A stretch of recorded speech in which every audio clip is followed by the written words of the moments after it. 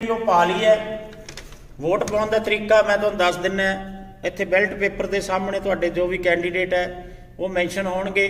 ਮੈਨੂੰ ਲੱਗਿਆ ਕਿ ਆ ਕੋਈ ਹਮ ਪਾਂਚ ਹੈ, ਮੈਂ ਇਹਨਾਂ ਨੂੰ ਆਪਦੀ ਵੋਟ ਜਿਹੜੀ ਹੈ, ਉਹ ਪੋਲ ਕਰਤੀ। ਟਿਕ ਲਾਉਣ ਟਿਕ ਲਾਉਣਾ ਜੀ ਉਹਦੇ ਬਿਲਕੁਲ ਸਾਹਮਣੇ। ਮੈਂ ਆਪਦੀ ਵੋਟ ਪਾ ਚੁੱਕਿਆ ਜੀ। ਇਹ ਬੈਲਟ ਪੇਪਰ ਮੈਂ ਫੋਲਡ ਕਰਕੇ, ਇਹ ਮੈਂ ਆਪਦਾ ਗੂੰਦ ਲਗਾ ਕੇ ਇਹਨੂੰ ਚੰਗੀ ਤਰ੍ਹਾਂ ਸੀਕ੍ਰੇਸੀ ਹੈ ਤੁਹਾਡੀ ਬਿਲਕੁਲ ਇਹ।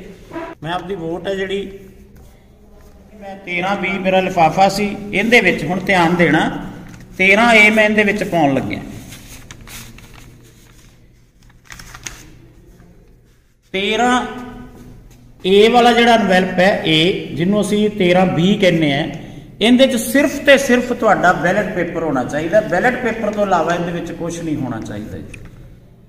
ਸੋ ਜਿਹੜਾ ਡੈਕਲੇਰੇਸ਼ਨ ਸੀ, ਉਹ ਆਪਣੇ ਕੋਲ ਕਵਰ ਬੀ ਦੇ ਵਿੱਚ ਆ ਗਿਆ ਜੀ। ਹੁਣ ਮੈਂ ਜਿਹੜਾ ਲਿਫਾਫਾ ਹੈ ਬੈਲਟ ਪੇਪਰ ਵਾਲਾ ਇਹਨੂੰ ਮੈਂ 13 20 ਚ ਪਾ ਕੇ ਗੂੰਦ ਲਗਾ ਕੇ ਬੰਦ ਕਰ ਦੂੰਗਾ ਜੀ।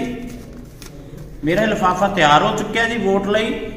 ਹੁਣੇ ਦੱਸਦਾ ਤੁਹਾਨੂੰ, ਅਗਰ ਕਾਊਂਟਿੰਗ ਵਾਲੇ ਦਿਨ 13 ਏ ਨਿਕਲੂਗਾ ਇਹਦੇ ਵਿੱਚੋਂ ਪਹਿਲੇ, ਅਗਰ 13 ਏ ਨਹੀਂ ਨਿਕਲਦਾ, ਤਾਂ ਤੁਹਾਡਾ ਬੈਲਟ ਪੇਪਰ ਵਾਲਾ ਲਿਫਾਫਾ ਨਹੀਂ ਖੋਲਿਆ ਜਾਊਗਾ। ਕਹਿਣ ਦਾ ਮਤਲਬ ਤੁਹਾਡੀ ਵੋਟ ਰੱਦ ਹੋ ਗਈ। ਇਸ ਲਈ ਬਹੁਤ ਧਿਆਨ ਦੇਣਾ ਹੈ। ਬੈਲਟ ਪੇਪਰ ਸਿਰਫ ਬੈਲਟ ਪੇਪਰ ਵਾਲੇ ਲਿਫਾਫੇ 'ਚ ਕੱਲਾ ਬੈਲਟ ਪੇਪਰ ਹੀ ਹੋਣਾ ਚਾਹੀਦਾ ਹੈ। ਅਗਰ ਤੁਸੀਂ ਬੈਲਟ ਪੇਪਰ ਵਾਲੇ ਵਿੱਚ ਹੀ 13 ਏ ਪਾਤਾ, ਤਾਂ ਫਿਰ ਤੁਹਾਡੀ ਵੋਟ ਫਿਰ ਵੀ ਰੱਦ ਹੈ। ਤੁਹਾਡੀ ਸਾਰੀ ਐਕਸਰਸਾਈਜ਼ ਬੇਕਾਰ ਗਈ। ਇਸ ਲਈ ਬਿਲਕੁਲ ਧਿਆਨ ਰੱਖਣਾ ਤੁਸੀਂ। ਜਿਹੜਾ 13 ਏ ਹੈ, ਉਹਨੂੰ ਕਵਰ ਬੀ ਦੇ ਵਿੱਚ ਕੱਲਾ ਪਾਉਣਾ ਹੈ। ਠੀਕ ਹੈ ਜੀ?